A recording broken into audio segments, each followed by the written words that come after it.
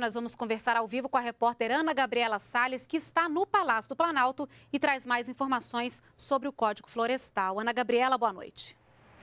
Boa noite, Renata. O advogado-geral da União, Luiz Inácio Adams, conversou agora há pouco com os jornalistas aqui no Palácio do Planalto e disse que os vetos feitos pela presidenta Dilma Rousseff ao Código Florestal estão dentro da lei. Segundo ele, eh, os vetos não violaram a, os, o, processo, o processo legislativo, já que sancionar e vetar dispositivos da lei fazem parte das atribuições da presidência da República. Adams disse ainda que o governo não teme disputas judiciais sobre essa questão, ressaltando que o, próprio Congresso Nacional delegou ao chefe do Poder Executivo a competência para dar outras soluções que julgar necessárias para matérias como essa do Código Florestal.